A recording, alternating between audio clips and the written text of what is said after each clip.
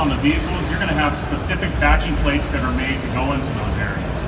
Um, your first step when you get your backing plates is to move the cathodic dip coating from it. You want it to have a bright, shiny finish when you're done.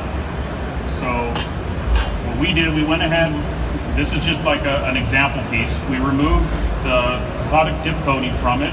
Our next step would be, be to chemically clean the piece. So what we have is, it's called R1.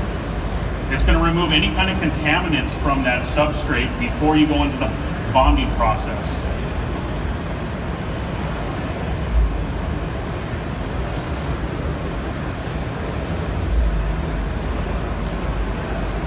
Our backing plates are made out of steel. Um, that is going to be bonded to the carbon fiber on the backside. Uh, backing plates, also known as reinforcement plates, as you guys know when it comes to quarter panels, A-pillars, and rockers area. Uh, by BMW, every backing plate is pre-made, pre has a part number, and so the technician doesn't have to make it. They just order it, and they just have to go through the prep step. So there's always the same part, always the same quality piece going back in the same areas. So every section point has its own backing plate that the technician has to order. So once we've chemically cleaned the piece, our next step, we're going to want to put a layer of K1. K1 is our structural adhesive from BMW. On all our adhesives, it's going to have a use by date on them. You want to make sure to use it by that date. Also with K1, uh, being the structural adhesive, is actually actually have a epoxy base inside of it, so it's it's very good for corrosion protection too. Um, so we want to make sure we cover every inch of that bare metal, and this way we never have any kind of rust or corrosion issue because it is epoxy uh, properties inside our glue. So your first step when getting the cartridge ready, you're going to have to purge the cartridge first to make sure that you get equal parts coming out. So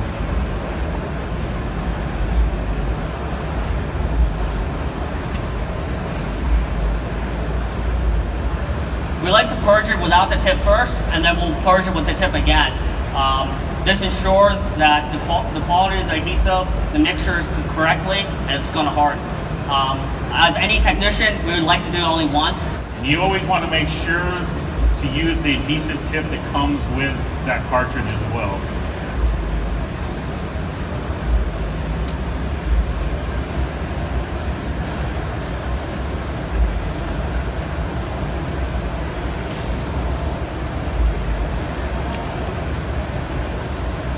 So then on our part, we're just going to want to have a thin, transparent layer on it.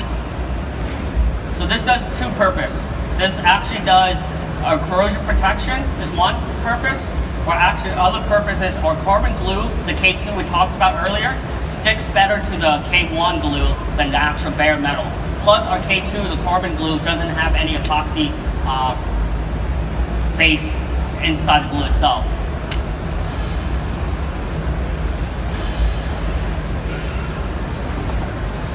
Spreader.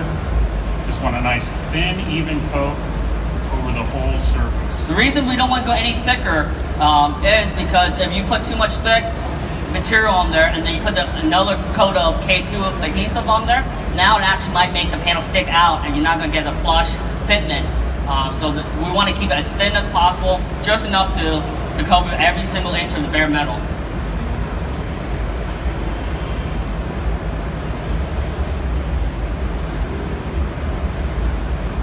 Do some TV magic. so we're gonna do some TV magic and and actually have a piece that's completely nice, thin, applied. Also, the key thing is you cannot put wet glue on wet glue. So we actually actually have to cure the K1, nice, hard K1, and then we can apply the K2, which is our carbon glue, over top of this.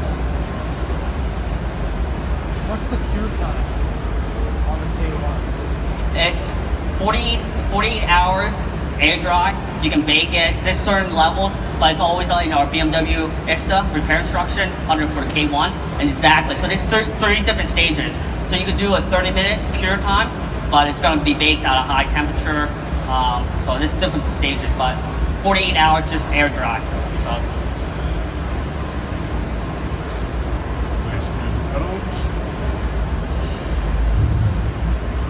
go ahead, you can that one over.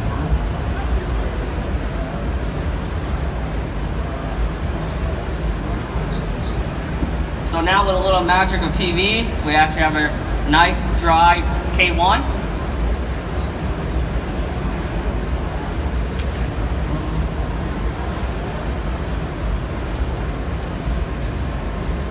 I'm gonna grab the K2 gun.